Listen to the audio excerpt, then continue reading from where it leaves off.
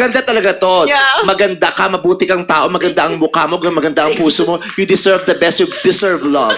Yes!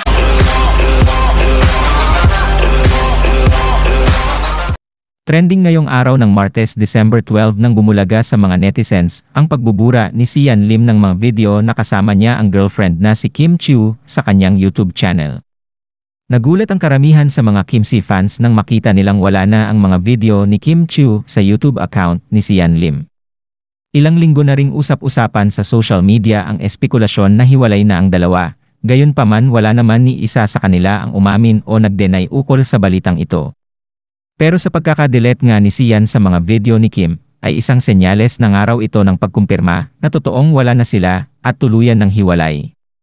Sa episode naman ng It's Showtime ngayong araw, tila naawa naman si Vice ganda kay Kim. Niyakap niya ito sabay sinabing maganda ka, mabuti kang tao, maganda ang mukha mo, maganda ang puso mo, you deserve the best, you deserve love. Tila isa nga itong pagkomport ni Vice kay Kim sa hiwalayan nito sa long-time boyfriend na si Sian Lim. Samantala komento naman ng ilang netizens kung bakit kaya naghiwalay ang dalawa, ay baka daw hindi pa handang magpakasal si Sian kay Kim Chiu. Marami naman ang nalungkot sa balitang ito na unti-unti na ngang nakukumpirma ang hiwalayan nila Kim at Sian. Maganda talaga to. Yeah. Maganda ka, mabuti kang tao, maganda ang mukha mo, maganda ang puso mo. You deserve the best, you deserve love. Yes!